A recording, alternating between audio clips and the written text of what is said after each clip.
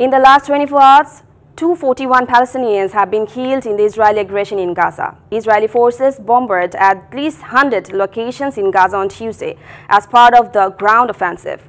More than 400 people have been injured. The death toll in Gaza has reached 21,000. Volunteers are busy organizing mass grave. 80 people have been buried in mass graves in southern Rafah. Meanwhile, Israeli Prime Minister Benjamin Netanyahu met with the high-level US officials to escalate the war in besieged Gaza. নগদ থেকে পল্লী বিদ্যুতের post paid বিল দিন charge ছাড়াই ফ্রিতে Israeli Defense Minister has warned that Israeli aggression in Gaza is not stopping immediately. The defense minister claimed that Gaza, Lebanon, Syria, Iraq, Yemen, Iran and the interior of Judea and Samaria are being attacked with the support of Gaza.